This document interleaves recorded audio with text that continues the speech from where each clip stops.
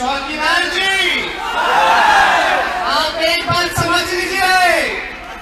अगर आप चौकीदार हो तो देश और बिहार की जनता थानेदार है, थानेदार।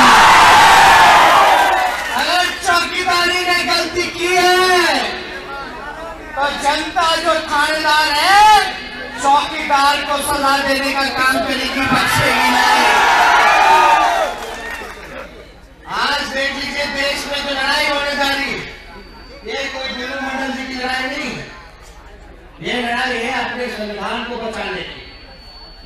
जिस प्रकार से संविधान पे खतरा है, जिस प्रकार से आरक्षण पे खतरा है, आप जितने पिछड़े भाई, अति पिछड़े भाई, दलित, महादलित भाई, अल्पसंख्यक भाई, आप सब लोग ध्यान से वोट देने का काम कीजिए, अपनी पीढ़ी के बारे में सोचने का काम कीजिए दोबारा ये लोग आगे ये लोग संविधान को बदल देगा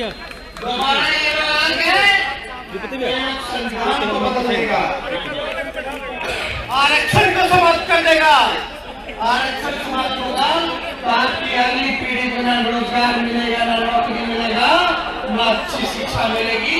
ये फिर से वर्ण व्यवस्था लागू करके आपको गुलाम बनाने का काम करेगा। के मानने वाले हैं के मानने वाले लोग हैं आने वाला जो चुनाव है आप देखिएगा ये धर्म और अधर्म की लड़ाई है ये सच और झूठ की लड़ाई है ये गरीब और अमीर की लड़ाई है और मोदी जी ने अमीरों का कर्ज माफ़ कर दिया किया कि नहीं किया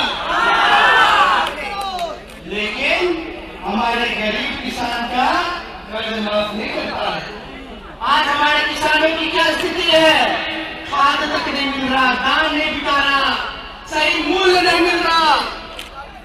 हमारे नौजवानों की क्या स्थिति है समन्वय विश्वविद्यालय में परीक्षा नहीं हो पाता। स्कूल में हेड मास्टर नहीं है अस्पताल का तो मत पूछिए ये मंगल पांडे अमंगल हो गए इनके मं- मंत्री बनने के बाद तो ये स्थिति हो गई कि बेड पे अस्पताल के बेड पे कुत्ता लेटा रहता है एक को दिया डॉक्टर काट दिए, ऑपरेशन किया। वो कुतवा हाथ लेकर के भाग रहा ये स्थिति है, आपके अस्पताल शिक्षा की तो ये स्थिति है टीचरों को अलग परेशानी है समय पे वेतन नहीं मिलता। कई स्कूल में जो है शिक्षक नहीं है। है कि नहीं? पढ़ाई होता है, कौन पढ़ता है उस सरकारी स्कूल में? ये गरीब का बच्चा पढ़ता नहीं पढ़ता अति पिछड़ा का। यही लोग जाते हैं सरकारी स्कूल? बाकी सब तो प्राइवेट में। लेकिन क्या पढ़ाई हो शिक्षा का तो स्थिति हो गया एक हेडमास्टर जिस स्कूल में पढ़ा रहे थे, हिमालय से गंगा भी निकलती है। धीरे धीरे ऋषिकेश होते हुए धीरे धीरे आगे बढ़ती है। इलाहाबाद आती है। बनारस आकर आती है, बनारस आती है, वहीं रुकती है। गंगा जी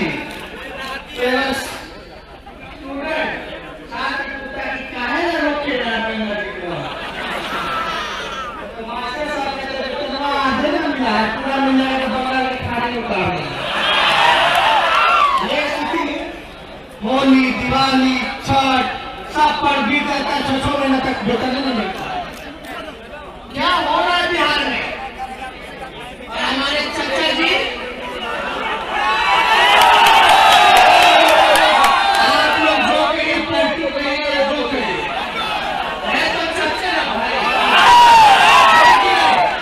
हम लोग के पापा मम्मी संस्कार में सिखा कि बड़ों का सम्मान करो चाचा तो चाचे बोलेंगे लेकिन मैंने एक बात से आप पर ज़रूर सहमत होगा कि अच्छे साल चलेंगे हमने बचपन में मूवी देखे थे चार सौ बीस चाची चार सौ बीस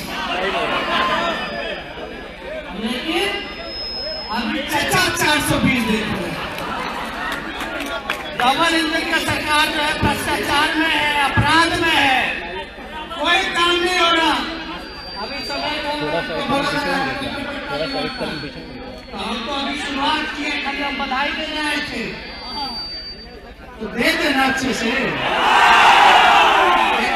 एक बात हिंदू, मुसलमान, दंगा कराने का काम करेगा भाजपा पंद्रह लाख तो मिला नहीं, रोज़गार तो मिला नहीं, किसान की समस्या दूर हुआ नहीं कोई काम नहीं किए, बिहार के स्पेशल के स्पेशल पैकेज नहीं